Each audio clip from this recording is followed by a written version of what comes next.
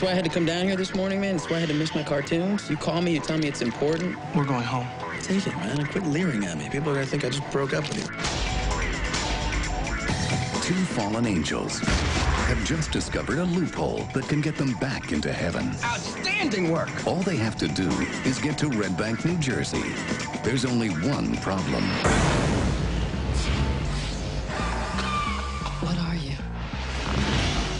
What do you want with me? Stop a couple of angels from entering and thus negating all existence. I hate it when people need it spelled out for them.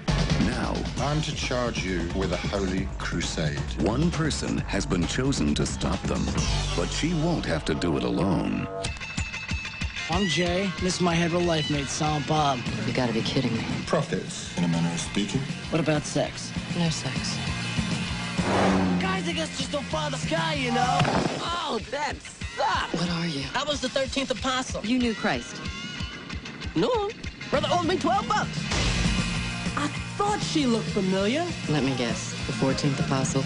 We'd like two tickets to New Jersey, please. Jersey's sold out, sir. I suggest you not underestimate the staggering drawing power of the Garden State. They're successful. You, me, all of this ends in a heartbeat. I feel like Han Solo, you're Chewie, and she's Ben Kenobi. Prepare to taste God's wrath. Anyone who isn't dead or from another plane of existence would do well to cover their ears right about now.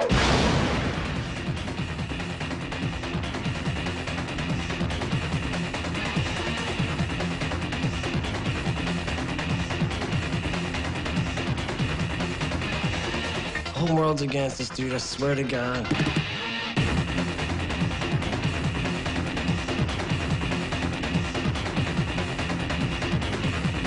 What's he like? God, He's got a great sense of humor.